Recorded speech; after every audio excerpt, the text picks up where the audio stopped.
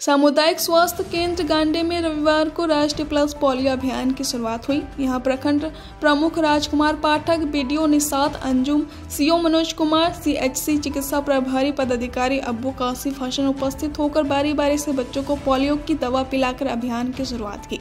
इस मौके पर सीएचसी चिकित्सा प्रभारी पदाधिकारी अब्बू कासिफ हसन ने कहा कि प्लस पोलियो अभियान में प्रखंड में ज़ीरो से पाँच वर्ष आयु के बच्चों को पोलियो की खुराक पिलाई जाने का लक्ष्य निर्धारित किया गया है। प्रखंड क्षेत्र के ज़ीरो से पाँच वर्ष आयु तक के एक भी बच्चा पोलियो की खुराक लेने से वंचित न रहे।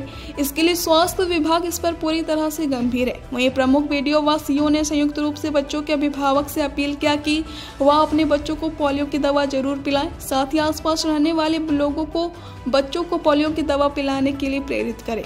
कहा कि राष्ट्रीय प्लस पोलियो अभियान तीन दिन तक चलेगा। रविवार को बूथ पर और 26 व 27 अगस्त को पोलियो खुराक से छूटे हुए ज़ीरो से पाँच साल तक के बच्चों को घर घर पहुंचकर आंगनबाड़ी कार्यकर्ता सहायिका समेत अन्य स्टाफ द्वारा पिलाई जाएगी। मौके पर उपरोक्त जन समेत स्वास्थ्य विभाग के कई कर्मी उपस्थित थे।